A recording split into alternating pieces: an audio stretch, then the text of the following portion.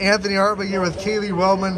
The game-winning shot for Brookfield as they win 36-32 over Liberty. Cailey, let's just talk about the flow of this game. Liberty came and gave you a much bigger fight than they did the first time you played them.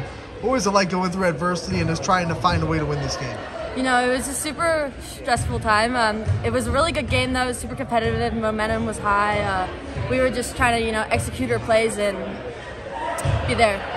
You picked up your fourth foul in the third quarter. You had to play the whole fourth quarter with four fouls and be disciplined, but still play aggressive defense. What was that like for you? It was super stressful. You know, I'm not really used to having four fouls, but it's all right. Uh, you have to play through that, and I did my best to play through it. You know, watched my screens and stuff, watched where I was, how I was rebounding, and where how I was playing defense. You know. We got to talk about that last shot. You're down by one. You get the ball in your hands. Really crazy fadeaway shot through contact and it falls. What was going through your mind in that play? You know, I honestly didn't think I was going to make it, but I'm glad I did. You know, I just kind of shot it up there, hoping that they would call a foul and I could get the free throw. And uh, I got the free throw and the shot, so it worked out. You completed the three point play too, which put you up by two. What's going through your mind at the free throw line in that moment?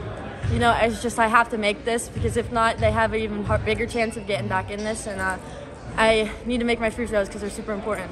All right, Cailey, how do you use this one as momentum heading forward? You know, just keeping the energy. Uh, we really fought back there. We need to keep fighting back in games the whole entire game and, you know, just keeping the energy high and the momentum moving. All right, Cailey, congratulations on the win. We'll talk to you again real soon.